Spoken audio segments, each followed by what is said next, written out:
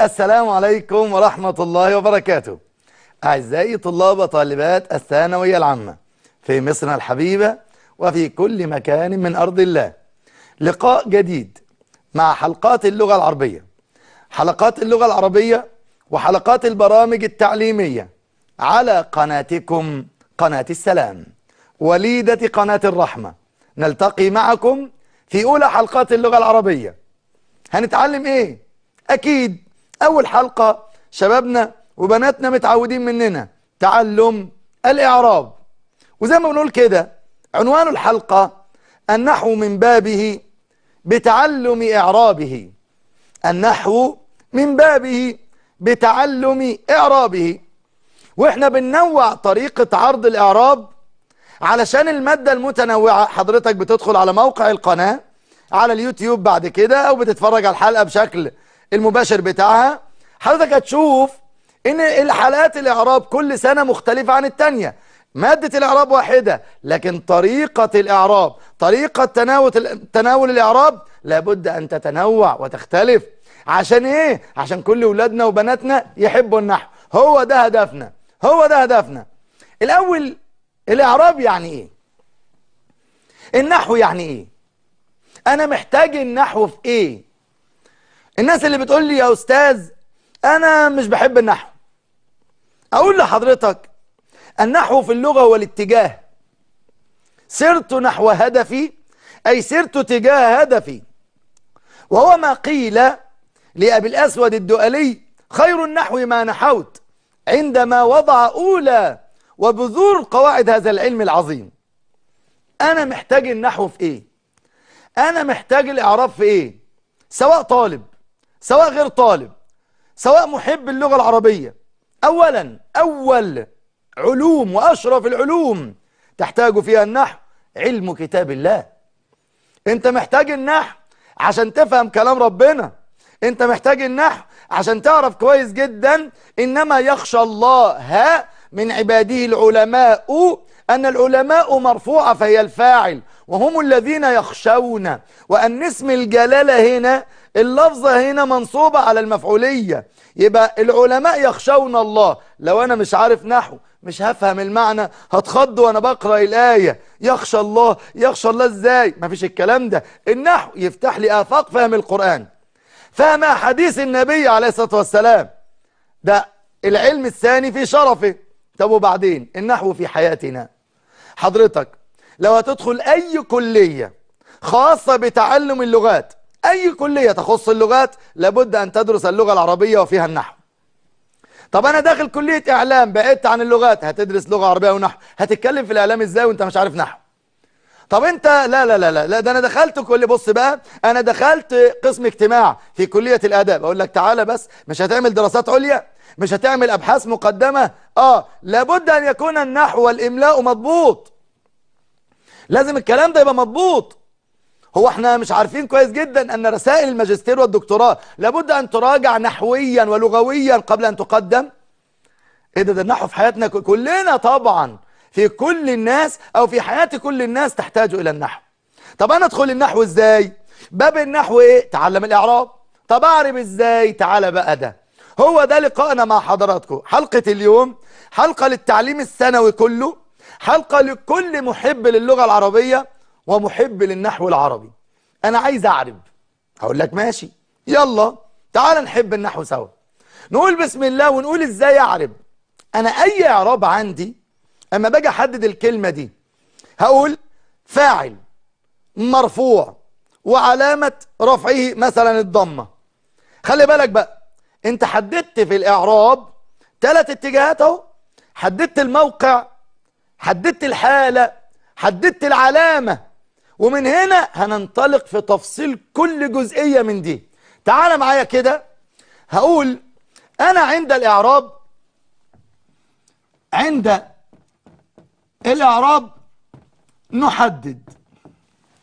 أول حاجة بحاول أحددها عند الإعراب يا أستاذ بحدد الموقع. موقع الكلمة اللي أنا بعربها إيه؟ موقع الكلمة اللي أنا بعربها إيه؟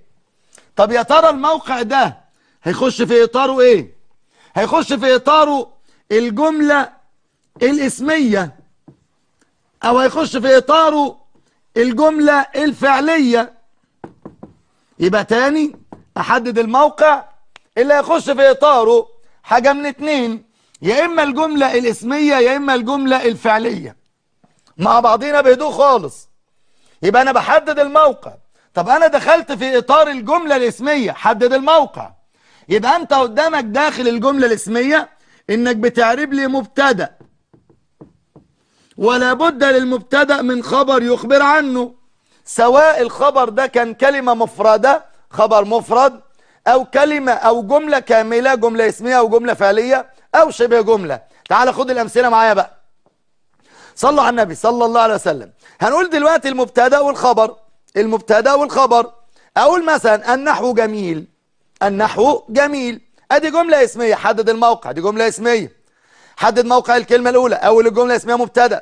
يبقى النحو مبتدا مرفوع علامة رفعه الضمه الموقع. طب حالته إيه بقى المبتدا؟ مرفوع.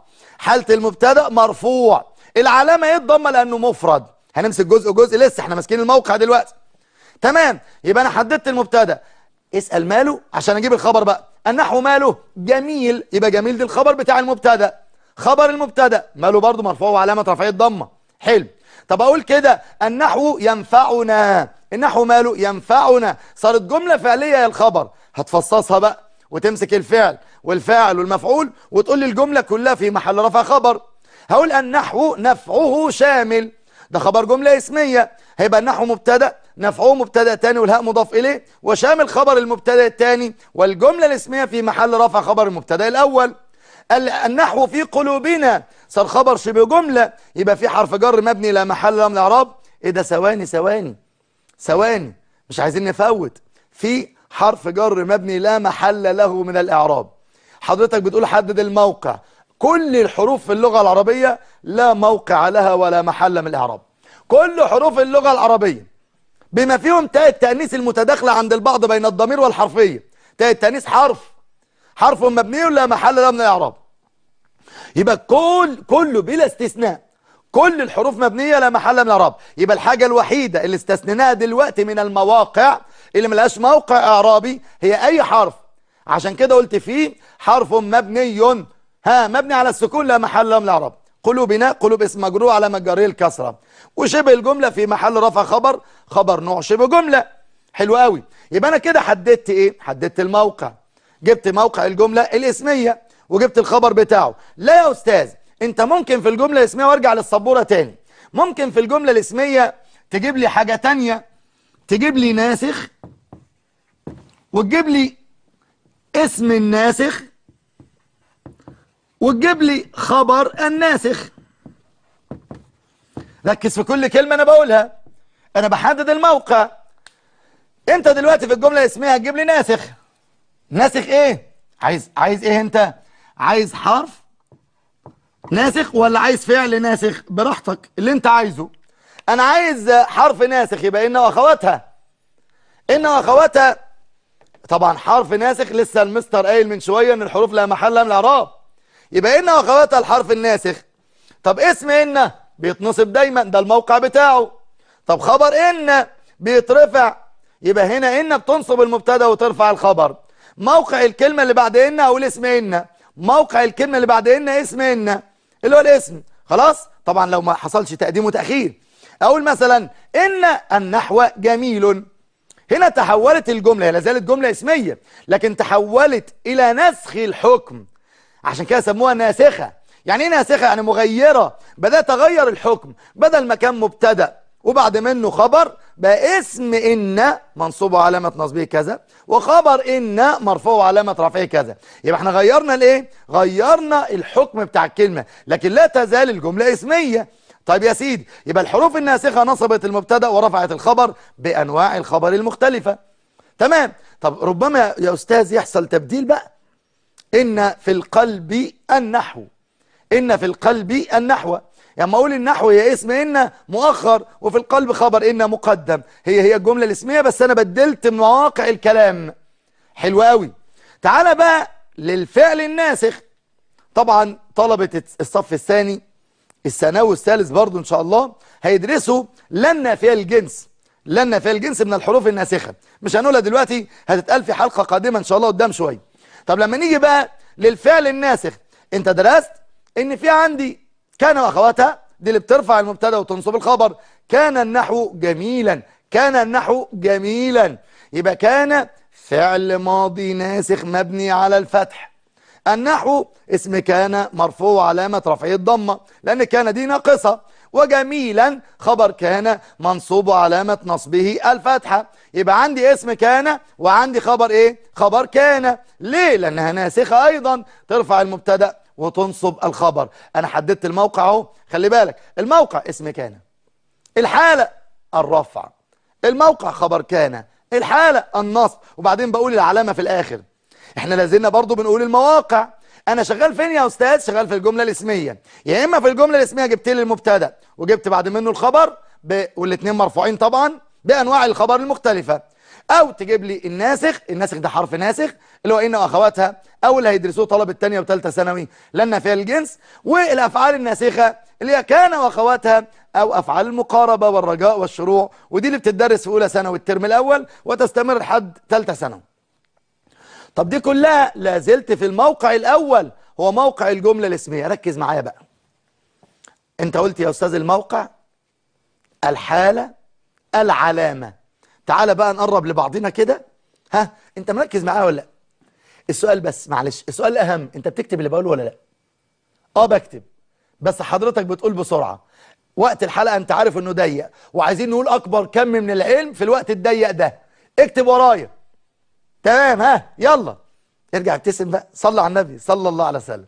هنبدأ مع بعضينا كده ونقول إن العلامة إيه يا أستاذ؟ ركز في علامات الإعراب. أنا جبت الموقع أهو. ولا زلت في الجملة الاسمية وأروح للجملة الفعلية كمان شوية. والحالة إيه يا أستاذ؟ لو أنت شغال في مبتدأ وخبر يبقى حالة الرفع. لو شغال في اسم كان يبقى حالة الرفع برضو. في خبر إن يبقى حالة الرفع. طب لو جينا حالة النصب هيبقى خبر كان. كل ده في الجملة الاسمية خبر كان أو خبر أفعال مقاربة ورجاء والشروع أو اسم إن حالة النصب. حلو. العلامة بقى آه طبعا العلامة لا تقال للجمل وأشباه الجمل. ما بقولش شبه جملة مرفوع وعلامة رفع الضمة لا إحنا بنقول في محل رفع. إنما العلامة تقال للاسماء طب تعالى نمسك الأسماء بقى. والأسماء إيه؟ المفردة. هجيب اسم مفرد زي النحو مثلا زي الرجل. هقول علامة الرفع الضمة وعلامة النصب الفتحة وعلامة الجر الكسرة. أدي المفرد. حلو. لكن طبعا لما نقدم قدام شوية في المنهج وتاخد الوحدة السابعة تعرف كويس جدا إن في أسماء مفردة تيجي في الجر تتجر بالفتحة تيجي في الجر تتجر بالفتحة لأنها ممنوعة من الصرف. اللي حضرتك خدته في سنة ثالثه إعدادي. طب تعالى لي للجزء الثاني. المثنى.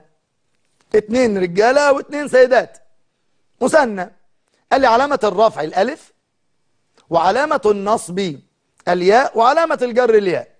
جاء الرجلان أو خلينا في الجملة الاسمية. الرجلان محترمان. هقول الرجلان مبتدا مرفوع وعلامة رفعه الألف لأنه مثنى. أو إن الرجلين محترمان. اسم إن منصوب علامة النصب الياء لأنه مثنى. طب بالنسبة لجمع المذكر علامات الإعراب الرفع الواو والنصب والجر الياء. الرفع الواو والنصب والجر الياء. يبقى ده بالنسبة ليه لجمع المذكر السالم. لما أقول المعلمون يشرحون المعلمون مبتدأ مرفوع وعلامة رفعه الواو لأنه جمع مذكر سالم. الأسماء الخمسة الأسماء الخمسة طلبة الأزهرة يعلمون أنهم ستة. الأسماء الخمسة بالنسبة للتعليم العام. أبو أخو حمو فوزو. ترفع بالواو علامة الرفع الواو وعلامة النصب الألف وعلامة الجر الياء. بس ثواني بقى. ثواني. الأسماء الخمسة عشان تاخد الشغلانة دي لازم لها شرط. إيه إنها تفضل مفرد.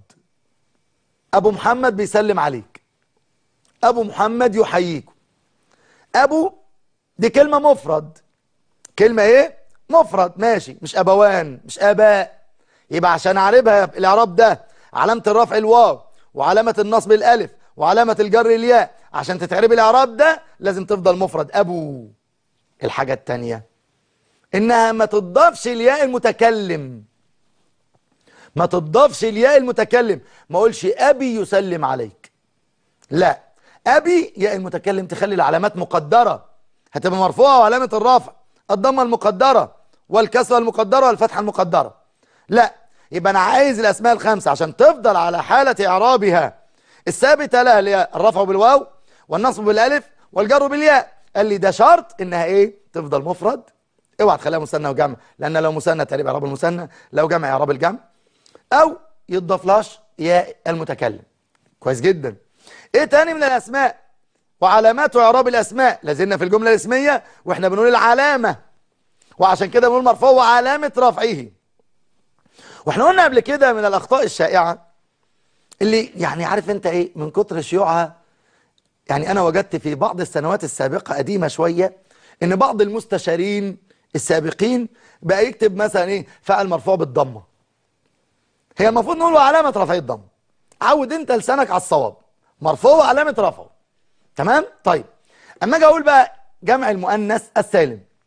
علامة الرفع الضمه علامة النصب والجر الكسرة. علامة الرفع إيه؟ الضمه زي ما أقول إيه؟ جاءت المؤمنات. المؤمنات فعل مرفوع علامه رفع الضمة. سألت الموحدات. موحدات مفعول به منصوب وعلامة نصبه الكسرة. اسمع اسمع اسمع وركز اوعى تقع.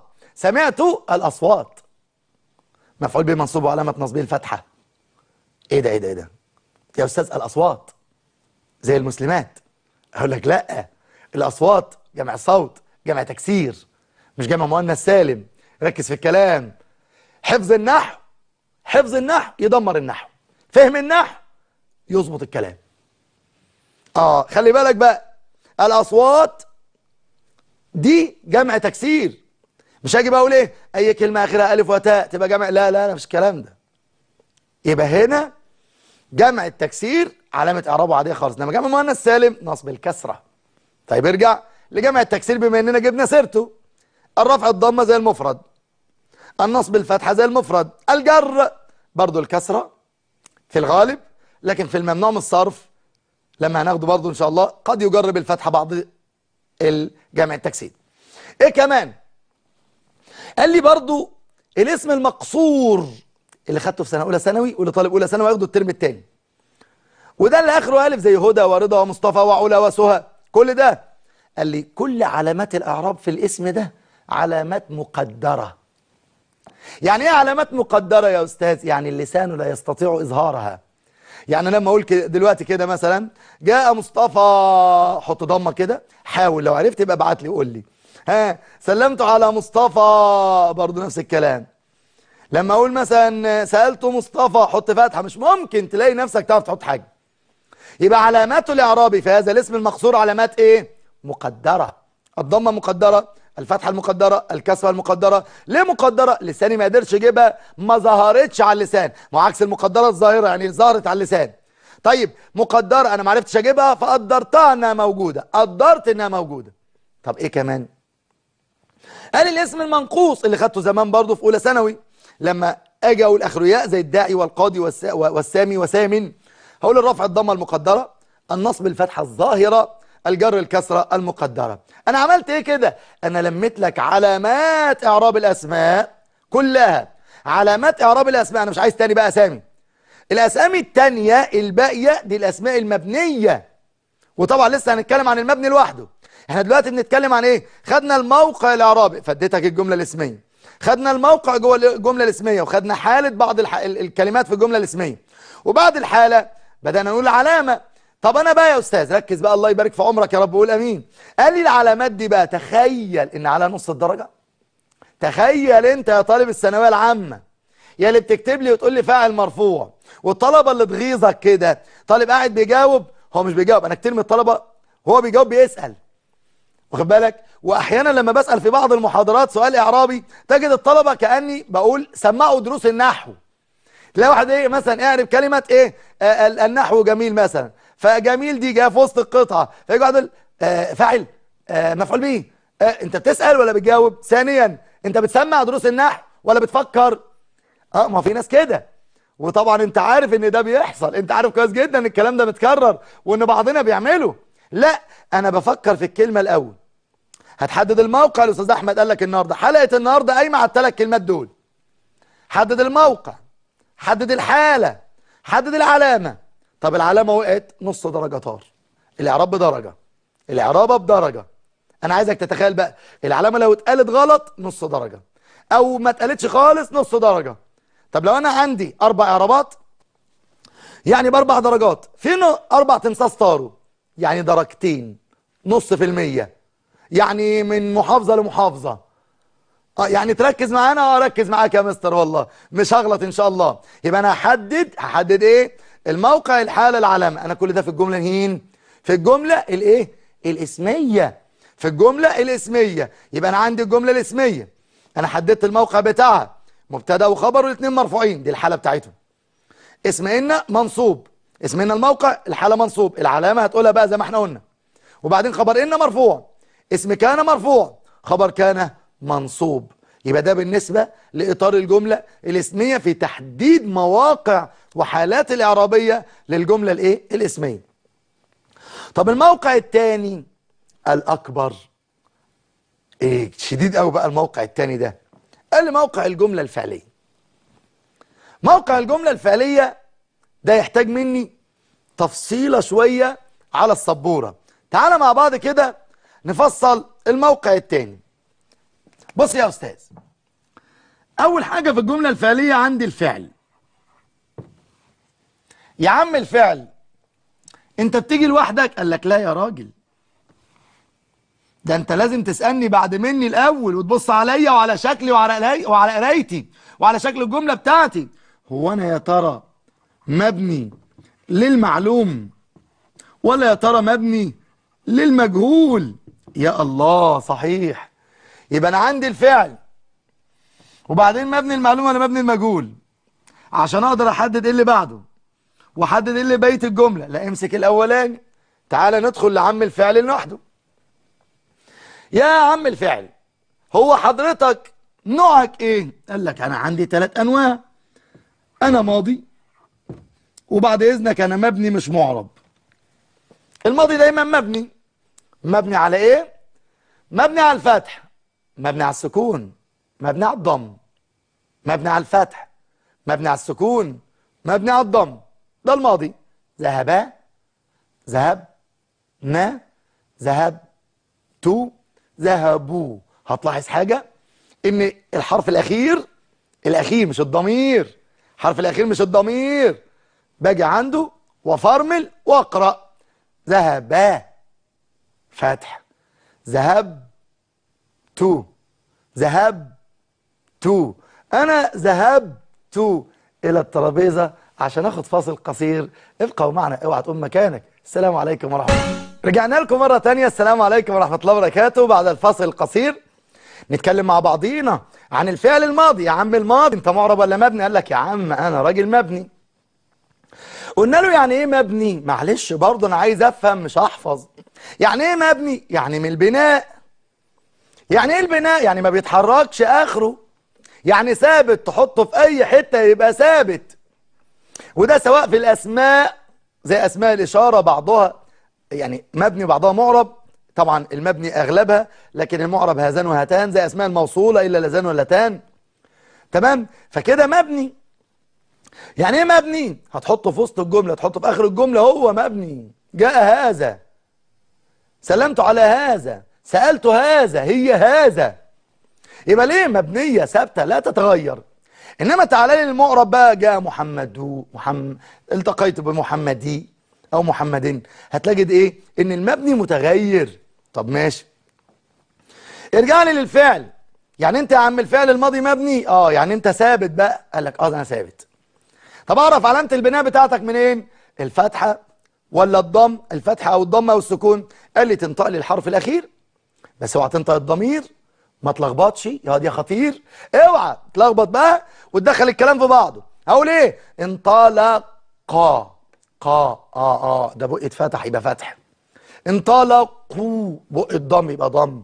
القاف مضمومة مش الواو. نحن انطلق ويفتح القاف. انطلقنا. أنا مش دعوة بالنا بقى. ماليش دعوة بالنا. أنا وقفت على حرف القاف آخر حرف في الفعل. عرفت علامة البناء؟ آه. يا عم الأمر وده الفعل الثاني اللي نجيله على السبورة. يلا يا أستاذ. يا عم الأمر بعد إذنك. هو أنت معرب ولا مبني؟ قال لك يا ابني أنت عارف إن أنا مبني. طب مبني على إيه؟ قال لك مبني على ما يجزم بالمضارع. علامات جزم المضارع هي علامات البناء بتاعتي. يعني إيه برضو معلش فهمني أكتر. يا ابني مش المضارع صحيح الآخر؟ يذهب. آه. بيتجزم بالسكون. صح. هنقول له أنا بقى إيه؟ أمر صحيح الآخر. مبني على السكون زي جزم المضارع. طب معتل الآخر حذف حرف العله يبقى أمر مبني على حذف حرف العله اجري من غير ياء. طب آه، أفعال خمسة اللي هو في المضارع واو الجماعة وألف اثنين هي المخاطبة. طبعا هي مش أفعال خمسة في الأمر ركز. هي في المضارع أفعال خمسة لكن في الأمر هقول متصلة بواو الجماعة وألف اثنين وهي المخاطبة لأن هم في الأمر ثلاثة مش خمسة. هم في المضارع خمسة. إنما في الأمر ثلاثة. عشان ما حدش يجي يقول لي في الأمر فيها أفعال خمسة. عشان ما يجيش في الامتحان زي ما جه في 2015 استخرج فعلا من الأفعال الخمسة تروح مطلع له فعل أمر. لأ. ما فيش أمر أفعال خمسة ولا ماضي. إنما في مضارع أفعال خمسة. خلاص؟ يبقى لما أقول اذهبوا اذهبا اذهبي بما إن بيتجزم الأفعال الخمسة بحذف النون مع الثلاث ضمائر يبقى لما الثلاث ضمائر تيجي مع الأمر هيتبني على حذف النون. والبناء في المضارع زي البناء في الأمر مبني على الفتح مع إيه؟ مع نون التوكيد. اذهبن أيها الرجل. قال لي طيب طب يا عم المضارع بما إنك أنت الراجل الكبارة بقى بتاعهم. المضارع ده بقى حاجة محترمة قوي يعني. يا سيدي قول لي أنت معرب ولا مبني؟ أنا عايز أعرف برضه. قال لك بص بقى أنت خدت في إعدادي إن أنا مبني في حالتين. قلنا له صح. إذا اتصلت بنون النسوة فأنت مبني على السكون. البنات يذاكرن يذاكرن الدرس. يبقى مبني على السكون. طب لو اتصلت بنون التوكيد؟ قال لك مبني على الفتح. طبعا في حالة الإفراد. والله لا يذاكرن الرجل. والله لا يجتهدن الرجل. يبقى هنا فعل أمر مبني على الفتح. فعل مضارع عذرا. فعل مضارع مبني على الفتح. ليه؟ الاتصال بنون التوكيد. طب ده أنت وأنت مبني. طب لما تتعرف بقى قال لك لا ثواني بقى. الإعراب بتاعي كمضارع يختلف حسب في قبل مني مين؟ قبل مني مين؟ حد جديد كده. راجل بيجزم. فخلاص يجزم الفعل. قلنا له طب مين ممكن يجزمك؟ قال لك خدته في إعدادي. أدوات الجزم لفعل واحد اللي هي لم. ولما ولم الأمر ولا النهايه دي بتجزم فعل واحد. لم يذهب لم يأتي. وهكذا. طيب أو أدوات الشرط الجازمة اللي خدت في إعدادي منها إن من ما متى مهما أين أينما أيان أن حيثما كيفما أي دول في ثانوي. بالتحديد في تانية وتالتة. كل دول أدوات شرط إيه؟ جازمة. تجزم كام فعل؟ اتنين. فعل الشرط وجواب الشرط. فعل الشرط وجواب الشرط. من يصلي يسعد. يصلي فعل الشرط مضارع مجزوم بقى وعلامة جزمه وعلامة جزمه. حذف حرف العلة وده جواب الشرط مجزوم وعلامة جزمه. السكون يسعد. لا ثواني يا أستاذ بعد إذنك. أنت من شوية قلت لنا علامات إعراب الأسماء. طب ممكن نقول علامات إعراب الفعل المضارع؟ قال لي بص بقى. أنا عشان اعرب المضارع كويس جدا هبص قبل منه أشوف إيه الايه إيه الأداة الموجودة. في أداة نصب ولا أداة جزم؟ ولا مفيش حاجة يبقى مرفوع. هبص في آخره عشان أعرف بقى أحدد العلامة. لأن المضارع صحيح الآخر علامة الرفع الضمة والنصب الفتحة والجزم السكون. رفع نصب جزم. طب معتل الآخر يرفع بالضمة المقدرة. ينصب ركز بقى. ينصب مع الواو والياء يدعو ويقضي بالفتحة الظاهرة ومع الألف زي يسعى بالفتحة المقدرة. طب ينصب ده اللي زلنا في المعتل يجزم بحذف حرف العلة. طب الأفعال الخمسة المضارع اللي اتصل بواو الجماعة ألف اثنين يا مخاطبة ثلاث ضمائر دول.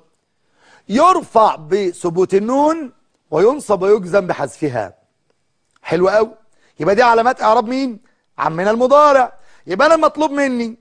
أبص قبله مباشرة. هو أنت قبل منك إيه؟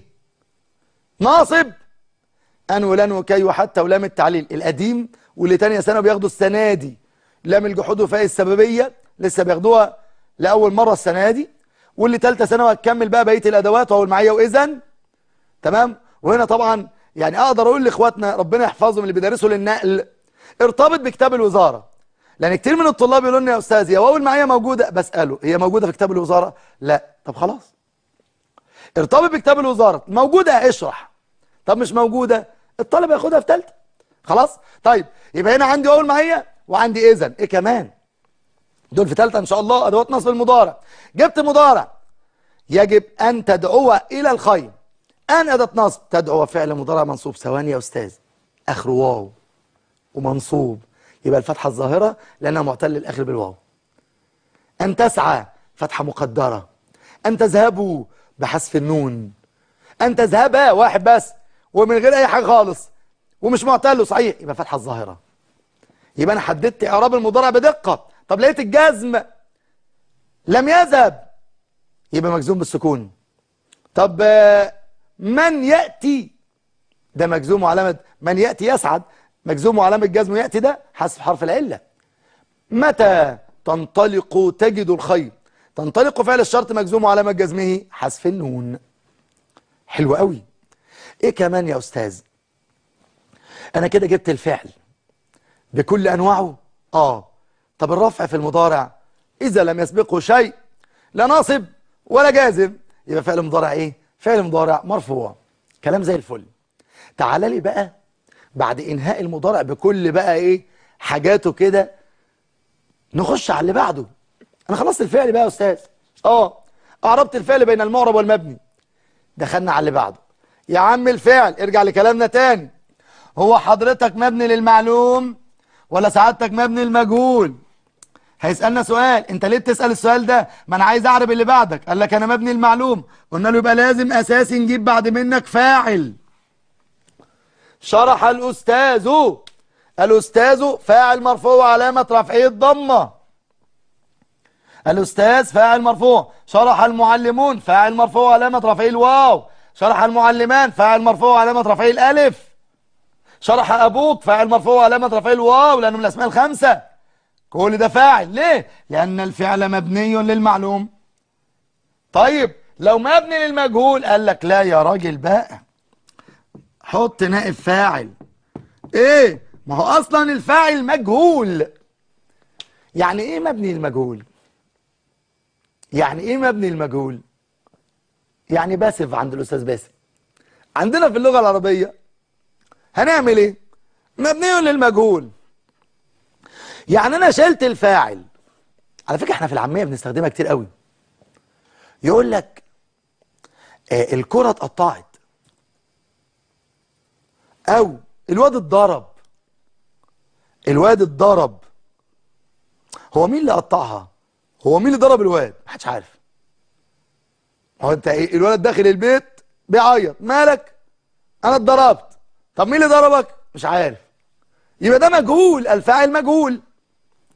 خلاص؟ يبقى أنا ما دام بناء للمجهول هشيل الفاعل تماما واجيب المفعول اخليه الفاعل. آه. والبناء للمجهول دائما يكون مع الفعل المتعدي سواء لمفعول أو بحرف الجر. أنا بجيب الإيه؟ المفعول به أقول له اقعد على كرسي الفاعل بعد إذنك أنت بقيت النائب بتاعه. فبعد ما كنت أنت أنت منصوب يا مفعول أنا هحولك لمرفوع. زيك زي مين؟ زي الفاعل. وزي ودايما دايما تعلمناها من علمائنا أن الرفع من الرفعة. الرفع من الرفعة. وقالوا الرفعة في اللغة لأربعة. العمد أساس الجمل أربعة وهم من يأخذون الرفعة. المبتدأ والخبر عمدة الجملة الاسمية الفعل والفاعل عمدة الجملة الفعلية. العرب ما بتحطش كلام كده. تاني الرفع من الرفعة. طب مين اللي ياخد الرفعة؟ أساس الجملة. اللي اتبنيت عليه الجملة كلها الفعل والفاعل. أو المبتدأ والخبر في الجملة الاسمية. عشان كده باجي أقول لحضرتك مرة تانية ان أنا وأنا بحرب بحدد الموقع بحدد الحالة بحدد العلامة. في الجملة الفعلية خدت الفعل قسمت الفعل.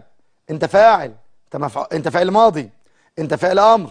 مبني مبني. انت مضارع مبني أو معرب. بعد منه مبني المعلوم ولا مبني المجهول؟ طب مبني المعلوم.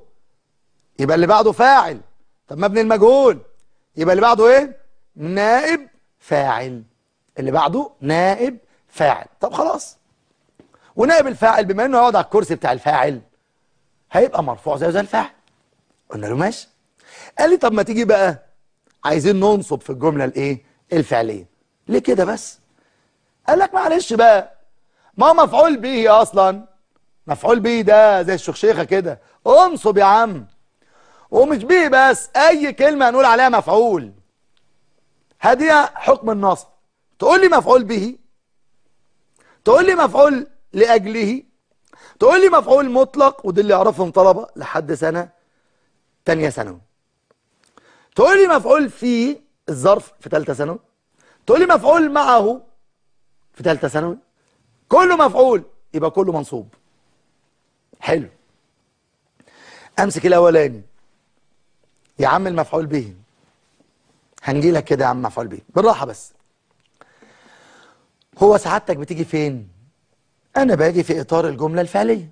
أو ما يشبه الجملة الفعلية. وطبعا ما يشبه الجملة الفعلية ده بقى في تفصيل الحلقات القادمة إن شاء الله. يعني أنا هلاقيك فين يا عم المفعول به؟ خلينا في الغالب في الأساس. آه جملة فعلية. ماشي. أما أجي أقول عاقبه الابن الأب. فقام واحد قاعد قدامي يضحك فرحان قوي ويبص لباباه طبعا قفاك ورم دلوقتي. ها يا ابني عاقبه الابن الأب. يا ابن الله يبارك لك خلي بالك عشان شقلبة الجمل. هو في ابن يعقل إنه يعاقب أبوه؟ لا طبعا. استغفر الله. ده حقوق والدين. طب لما أنت عارف كده قلت الابن فاعل ليه؟ يا عم ده أنا عملت كده في الجملة بس. احذر الحاجات دي. الحاجات دي في ثالثه ثانوي موجودة بكثرة وبرضه في امتحانات النقل موجودة. إن أنا ألاقي المفعول قبل الفاعل. تقديم وتأخير. ده أنت في البلاغة حافظها. إن أنا ممكن أقدم واخر من أجل القصر أسلوب القصر. يبقى أنا ممكن أقول عاقب الابن الأب. طبعا أنا لما أجي أنا سكنتها عشان أختبرك بس. لما قلت عاقب الابن الأب أنت الطبيعي تقول إيه؟ الابن ده مفعول به. ما فيهاش كلام الابن ده مفعول به. طب والأب؟ فاعل. والأب إيه؟ فاعل طبعا. وإذ ابتلى إبراهيم ربه بكلمات. ابتلى إيه؟ اختبر. مين اللي اختبر مين؟ الرب اختبر إبراهيم. يبقى كلمة الرب فاعل وإبراهيم مفعول به. تقديم وتأخير. الموضوع مستساغ يعني. أنت بتبص للمعنى. أنا طبعا إيه؟ في طلب عارف أنت الدنيا ضلمة عنده. هو بيحط السبوت والضوء بتاعه على الكلمة اللي بيعربها بس. لا بيجيب جملة من أولها ولا بيقرا بيقرأ بعدها ولا أي حاجة ملوش دعوة. أول ما يشوف عقب الابن فاعل مرفوع على في الضمة. مش انت قلت لنا كده يا أستاذ فعل وفعل؟ يا ابني كمل الجملة الأخيرة. يا ابني اقرأ القطعة كلها. يا ابني اقرأ الفقرة كلها اللي قدامك. عشان تفهم المعنى عشان تعرف تعرب لأن كل اللي إحنا قلناه ده يترتب على جزء مهم جدا وهو المعنى. الإعراب فرع المعنى. يعني لو مش فاهم معنى والله ما تعرف تعرب. مش هتعرف. هو القرآن الكريم ليه كل شوية تسمع في الآية الواحدة إعرابين ثلاثة أربعة. لأن إحنا عندنا قراءات وعندنا كل قراءة تعطي معنى والقرآن حمال ذو وجوه وجميل ومعاني حلوة قوي وكل معنى يديني حتة إعراب. لكن الكلام العادي بتاعنا الطبيعي لازم تبقى فاهم المعنى. زي ما قلت قبل كده وأكرر هذه الجملة اللي جت في امتحان سنة 97 لثالثة ثانوي عندما أخر المفعول به في آخر الجملة خالص استطاع علماء أدي الفعل والفاعل العربي والمسلمين في مراحل زمنية متتابعة أن يضيفوا وطلب الموقع الإعرابي لأن يضيفوا. حول الإضافة استطاع العلماء إضافة مفعول به. طب والكلام اللي في النص ملوش لازمة. طب لو أنت ما بتقراش الجملة من أولها تعرف؟ صعب. عشان كده بقول بقى اهو إحنا قلنا اهو الأستاذ بدأ الحلقة النهاردة النحو من بابه بتعلم إعرابه والإعراب لا يكون إلا بتحديد الموقع. موقع أنت في جملة اسمها ولا في جملة فعلية؟ حددت الموقع ده مبتدأ. حالته إيه؟ مرفوع. علامته إيه؟ ده فعل. معرب ولا مبني. كل الكلام ده لازم بدقة تسأل نفسك بعد كل خطوة. طبعا في البداية ممكن الكلام ده ياخد معاك شوية وقت صغير لكن مع التدريب الكتير الكتير الكتير الكتير الكتير. بص بقى بص الكلمة عاملة إزاي؟ الكتير. درب. النحو أنا كان أستاذي يقولها كده الله يرحمه رحمه واسعه والله. والله والله والله أقسم بالله لو رأيته في الشارع ما أستحي أن أنزل على قدمه وأقبلها. هو سبب الخير الذي أنا فيه. هو من أحبب إلي هذا الفرع هذا العلم. هو كان بيقول كده. اعرب الجرايد. زمايلي كانوا بيتريقوا. أنا سمعت كلامه أنا حبيت النحو. ربنا رزقني بامتياز والتاني على الدفعة في النحو بسبب الراجل ده. هو بيقول وأنا نفذت. هو يقول وأنا نفذ أنا بقول لك اعرب أي حاجة تقابلك. زهقان وأنت بتذاكر جغرافيا أو تاريخ أو أي مادة. اعرب هتعرب نص غلط ونص صح. كويس. ما أنت كنت بتعرب كله غلط. طب بقى الثلاث أرباع صح ممتاز. طب بقى 90% صح بقى 100% صح إن شاء الله. طيب إحنا إن شاء الله النهارده أولى حلقات البرامج التعليمية على قناة السلام. الحلقات تعاد في صباح اليوم التالي الثامنة صباحا. اليوم إن شاء الله اللغة العربية. يوم السبت اللغة العربية. تذاع في تمام السادسة الا عشر دقائق بتوقيت القاهرة. وبعدين يوم الأحد اللغة الإنجليزية. أنا طبعا بقول بتوقيت القاهرة عشان ولادنا اللي في الثانوية العامة اللي بيذاكروا الثانوية العامة المصرية في الدول العربية. اليوم الأحد إن شاء الله اللغة الإنجليزية مع الأستاذ باسم الشريف. يوم الاثنين بإذن الله كل المواعيد واحدة والناس عارفة إن الخريطة واحدة. يوم الاثنين إن شاء الله رياضيات مع الأستاذ محمد الدوميني. يوم الثلاثاء الكيمياء مع الأستاذ مصطفى يوسف. يوم الأربعاء الفيزياء مع الأستاذ محمد عبد المعبود. يوم الخميس إن شاء الله هناك سعي جاد أن تكون هناك مادة أدبية وده حرص من القناة ومن القائمين ومن المدرسين لأن الطلاب الأدبي يطلبون مادة أدبية فإن شاء الله ستكون هناك مادة أدبية يوم الخميس بإذن الله جل وعلا. طبعا ولادنا وحبايبنا أنا عايز حضرتك الناس عارفة كويس أن قناة السلام هي وليدة قناة الرحمة. كل شبابنا وبناتنا انشر الخير تؤجر عليه. لأن في واحد هيفضل يفتح قناة الرحمة يقعد الساعة 6 مستني. قول لا والله على نفس التردد 10873 هتلاقي نفسك على قناة السلام. افتح قناة السلام الساعة 6 ل 10 بالظبط بتوقيت القاهرة تجد حلقات البرامج التعليمية للثانوية العامة. خلاص؟ انشر الكلام ده تؤجر عليه إن شاء الله. يسر الله حالكم. وفقكم لما فيه رضاه. أسألكم بالله لا تنسونا من صالح دعائكم. جزاكم الله خيرا. إلى لقاء في حلقة قادمة. والسلام عليكم ورحمة الله وبركاته.